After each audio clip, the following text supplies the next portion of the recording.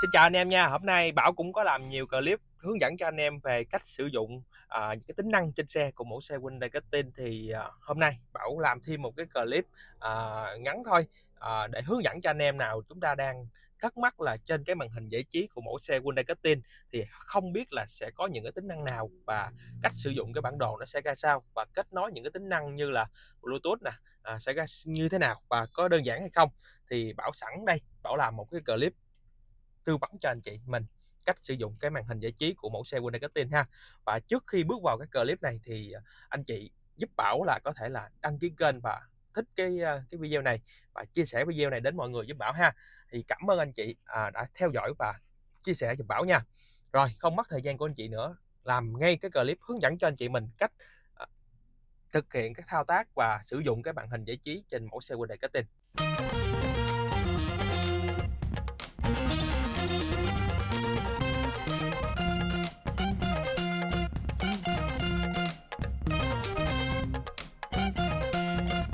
mình cách sử dụng cái bản đồ giải trí của mẫu xe Hyundai Gettin thì trên cái bản đồ à, giải trí của mẫu xe Hyundai Gettin nè thì chúng ta sẽ có những cái tính năng nào?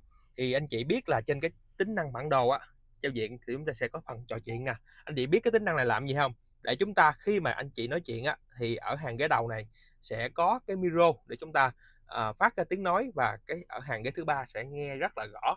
Đó công dụng của tính năng trò chuyện như thế này à, là như thế. Rồi tiếp theo nè trên cái uh, trên đây thì sẽ có những cái tính năng khác như là khi mà anh chị di chuyển xe á, thì chúng ta sẽ có coi luôn được là cái cảm biến sức lớp nè. Và đây là những kết nối uh, Apple CarPlay và Android Auto ha. Thì những cái kết nối này rất là đơn giản anh chị chỉ cắm dây vào và thực hiện kết nối Apple CarPlay hoặc là Android Auto ha anh chị bật lên. Thì đơn giản thôi.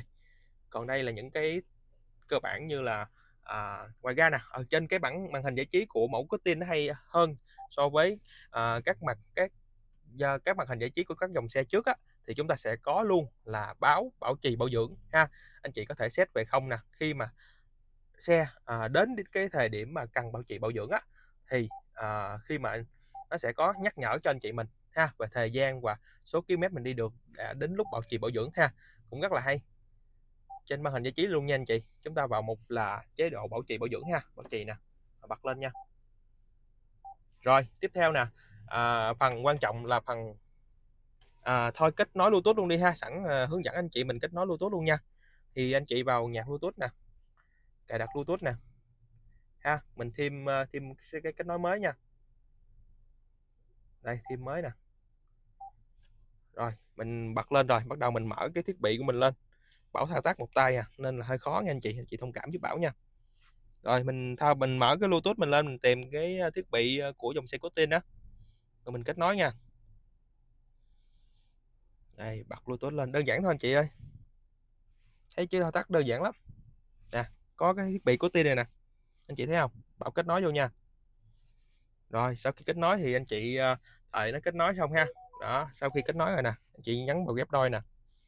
Rồi và sau khi chúng ta đã kết nối thành công rồi anh chị à, sẽ quay ra và chúng ta bật nhạc phát bluetooth nha. Khi mà anh chị kết nối bluetooth rồi chúng ta có thể là vừa chạy xe mà lỡ có cuộc gọi đến chúng ta có thể thao tác. À, mình nói chuyện luôn trực tiếp được nha anh chị. Vừa lái xe vừa nói chuyện được luôn nha. Đây bật nhạc cho anh chị nghe nha. Đây vào lại một nhạc bluetooth nha. Mạng hơi yếu nha anh chị thông cảm giúp bảo nha.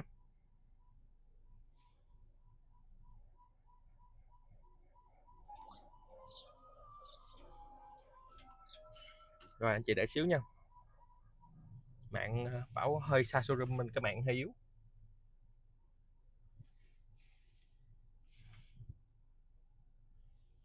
Có nhạc nào bắt cho anh chị coi nhá nhanh?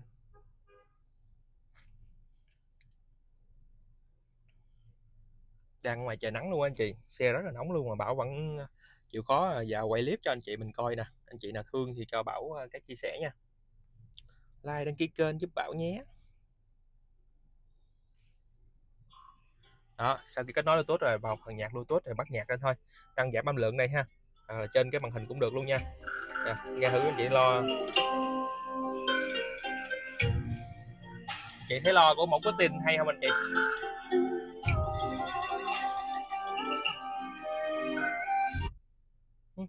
Mạng yếu. Thông cảm nghe anh chị.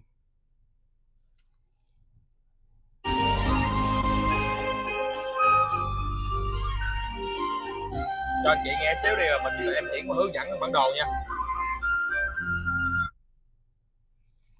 Nhạc yếu mạng yếu mất hứng quá anh chị. Để xíu nha cho nó lấy.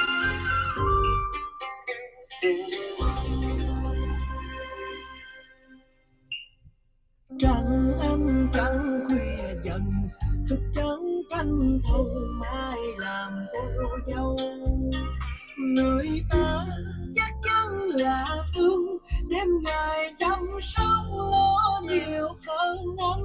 Rồi ok quá hay. Rồi bây giờ tới phần uh, tiếp theo nè. Để bảo hướng dẫn cho anh chị mình nha. À, trên cái màn hình giải trí chúng ta sẽ có cái bản đồ và trên cái bản đồ này nó sẽ có những gì? Bảo sẽ hướng dẫn cho anh chị liền ha. À, trên cái bản đồ này chúng ta sẽ có chúng ta sẽ có được cái đây để em xíu nha. Đây anh chị thấy không? À, cái cảnh báo tốc độ này là cái ăn tiền của cái bản đồ này luôn thật sự luôn là trên cái đường đi á, mình sẽ có luôn biết được là cái khung đường đó mình chạy được tốc độ bao nhiêu luôn. Mình có thể cài đặt được luôn là nếu mà anh chị chạy quá cái tốc độ quy định trên cái bản đồ á, thì tự động xe sẽ cảnh báo cho anh chị, giúp ích cho mình trong cái việc là chú ý cái giao thông khi mà chúng ta di chuyển trên đường, ha. Tránh cái trường hợp là chạy quá tốc độ và vi phạm luật giao thông nha. Một cái cái thứ rất là hay trên cái bản đồ màn hình giải trí của mẫu xe Marketing mà so với các đối thủ khác còn lại là không có trang bị nha anh chị. Và đặc biệt hơn là cái uh, cái tốc độ này nè mình có thể là điều chỉnh và có chỉ đường bằng giọng nói luôn nha. Và để tìm một cái khung đường thì sẽ thao tác bằng cách nào? Ha anh chị vào cái mục ba chấm như thế này anh chị vào mục nhập lộ trình nè. Ha anh chị nhấn vào dấu cộng giúp bảo nha. Rồi anh chị sẽ tìm cái vị trí của mình muốn đến giống như bây giờ nè. Trên đây nha cũng rất là hay nè ở đây nè nó sẽ có những cái mục mà chúng ta có thể đề xuất chúng ta giống như giờ anh chị muốn đi ăn đi anh chị nhấn vào đây thì anh chị sẽ định vị cho anh chị những cái khu vực nè giống như nhà hàng Ngọc Lan nè đó những khu vực uh, nhà hàng nè gần đây nè gần khu vực của mình đang đậu xe á ha hoặc là anh chị là muốn là tìm cái ờ, vị trí giống như là ngân hàng đi ha ngân hàng nè đó những cái cây ATM nè ngân hàng nè đó anh chị có thể tìm những cái khu vực gần cái vị trí xe mình nha rất là hay. Hoặc là anh chị muốn đến một cái điểm nào đó bây giờ thành phố Vĩnh Long đi ha. Giờ bảo từ Đồng Tháp mình tìm đến thành phố Vĩnh Long đi ha. Lưu ý là cái bản đồ này tìm những cái vị trí lớn nha anh chị nó dễ hơn nha đó bây giờ nè. Trung tâm, rồi, ví dụ như trung tâm giới thiệu dạy nghề, việc làm thành phố Vĩnh Long đi. Rồi nhấn chữ đi. Đó, bắt đầu xe sẽ định hướng cho anh chị mình cái hướng đi, ha. Tới địa điểm nào để trái rẽ phải sẽ có giọng nói và chỉ đường cho anh chị mình luôn ha ha. Và trên trước khu vực nào đó, nó sẽ cảnh báo luôn là sẽ có những cái biển báo như thế nào, ha. Rất là hay nè. Đó, biển báo ờ, đường có giao cắt, có camera phạt nguội luôn nha. Rất là hay mình đi di chuyển trên đường nha. Đó tới điểm nào theo lần xanh này nè anh chị định hướng cho mình đi di chuyển dễ dàng. Rồi anh chị mình trước khi mà sử dụng á mình lưu ý là mình bật luôn những cái à, cái này ha cảnh báo nè. Anh chị nhớ nha và cảnh báo nè. Cái này nè chị tốc độ này nè à, hiểu như thế này. Giống như là khung đường đó cho anh chị tốc độ giới hạn là 60 km giờ bây giờ mình cài đặt mà mình vượt quá năm đi là nó sẽ chạy 65 nó mới kêu ha. Còn nếu mình chạy lui về đây âm năm thì có nghĩa là chạy 55 là nó kêu rồi. Nó báo mình rồi ha mình báo mình chạy quá tốc độ rồi chú ý hơn. Thì anh chị nào muốn an toàn thì mình chạy mình điều chỉnh khoảng từng hai ba đi thế này nè. Đó mình chạy tốc độ ví dụ như đường đó cho 60 mình chạy 58 thôi là báo rồi. Nó sẽ giúp ích, ích cho mình cái việc là không có vi phạm quá tốc độ ha trên cái khung đường mình muốn đi. Ha cũng rất là hay.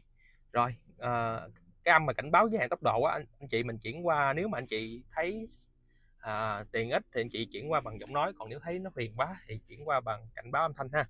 Thì theo anh chị là muốn như thế nào? Còn cái tùy chọn uh, bên ờ, cam này nè à, tùy chọn những cái biển báo giao thông trên đường ha. Đó anh chị bật hết luôn cho bảo đi. Nói chung là dư không thôi dư thì không không sao đâu. Rồi hiển thị làn giao thông đi nè. Rồi anh chị nào nhớ nha điều chỉnh ngôn ngữ nha. Anh chị vào có một ngôn ngữ nè giọng nói đơn vị nè giọng nói anh chị chuyển thành giọng nói tiếng việt nha nó chỉ đường tiếng việt nha có người việt nói. Rồi ok đó là những cái thông tin bảo vừa chỉ anh chị về sử dụng cái bản đồ à, Hyundai Kittin mà anh chị nào mà đang sử dụng mà thấy chưa có biết cách sử dụng hay là chưa gõ thì có thể nhắn bảo nha. Bảo sẽ hỗ trợ và à, tư vấn cho anh chị mình trực tiếp nha. Rồi cảm ơn anh chị đã theo dõi video của bảo. Nếu thấy video này hay nhờ anh chị đăng ký kênh và chia sẻ giúp em nha. Xin chào và hẹn gặp lại anh chị ở những video tiếp theo về những dòng xe của Hyundai. Thank you.